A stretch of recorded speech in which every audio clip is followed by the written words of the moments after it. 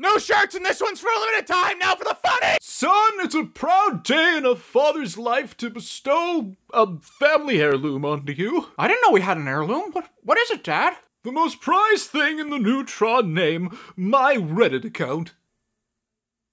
What? Yes, it's been passed down for generation. Only one, because I showed it to your grandfather and he called me cringe. But anyway, this account has been one of the strongest in the history of our duck. An account with the proud distinction of having the top post of all time for making the epic meme Big Duckus. Oh, God. This very account has more Reddit gold than Jeff Bezos' own net worth. It's the most important Reddit account in history, according to my fellow ducats, a term us duck redditors have bestowed upon our strong community. And with that, I leave you my Reddit password and the pride of my heart. Uh, bye.